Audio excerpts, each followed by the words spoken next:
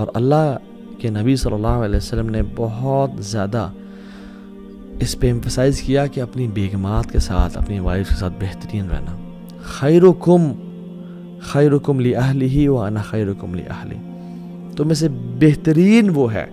उम्मत मुस्लिमा से बेहतरीन वो है। द बेस्ट ऑफ़ यू वो कौन है?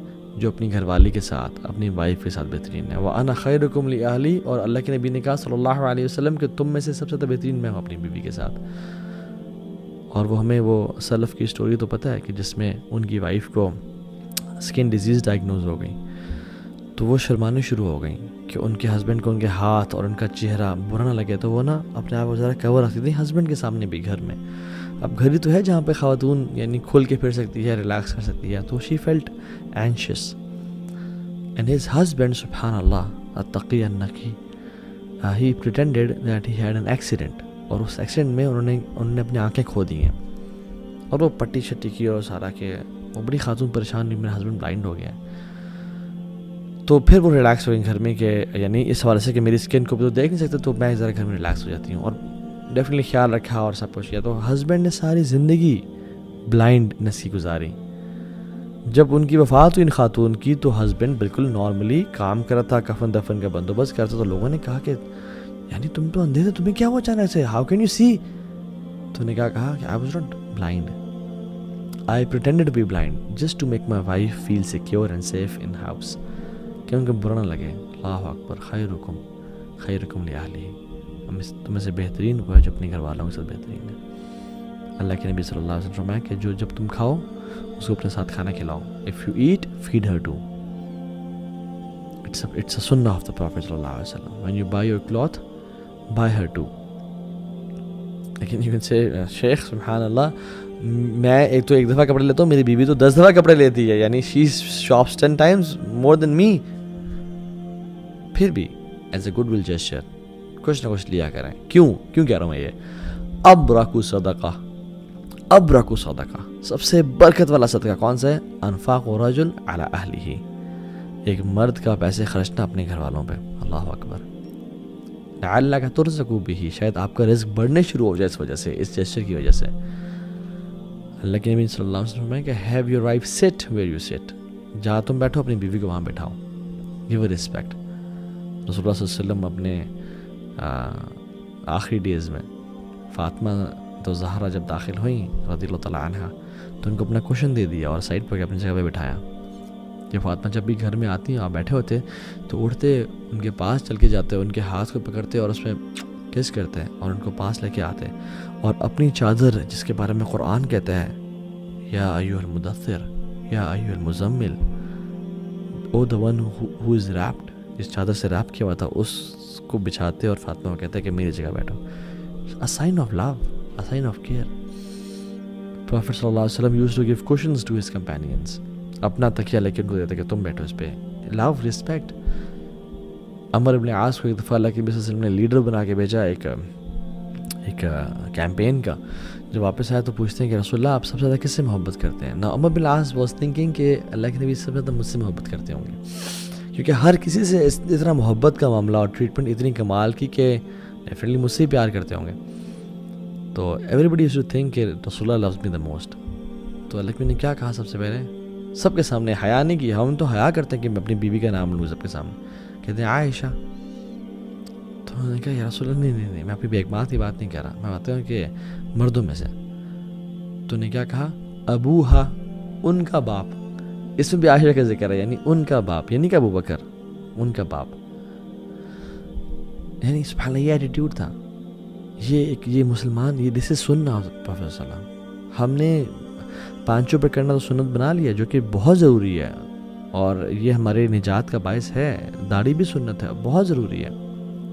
लेकिन बात यह है कि ये भी तो सुनते हैं जिनको हमने भुला दिया हज़रत आशा से पूछेगा कि अल्लाह के नबी वसल्लम घर में आती क्या करते हैं? कहाँ बिज़ी होते हैं? तो कहती हैं कि काना फ़ी खिदमत अहल ही वो अपने घर वालों की खिदमत में बिज़ी हो जाते हैं। मैं और आप जो ना, ये हमारे लिए एक लिटमस टेस्ट है, हम सवाल करें अपने आप से। रसोल्ला वसल्लम एक दफ़ा अपने जूते को सी रहे थे। गर्मियों का मौसम था, उनके चेहरे मुबारक से पसीने टपकने शुरू हो गए। सो हज़रत आयशा देख के ना मुस्करा रही थी। तो आप ने उनको देखा कहा ऐशा तुम क्यों मुस्करा रही हो? कहते हैं कि, कहती हैं कि जो आपके चेहरे से ये जो पसीने के ड्रॉप्स गिरे ना these drops are more beloved to me than diamonds यानी मुझे अपने महबूब के जो पसीने के कतरा था ना, ये डायमंड से भी ज़्यादा महबूब हैं। और अल्लाह के नबी ने कहा कि उनके पास उठे, उनके चल के आए, उनको किस किया और कहा कि, Ayesha you are more than these words to me तुम इससे ज़्यादा कहीं मुझसे तुम मुझे ज़्यादा प्यारी हो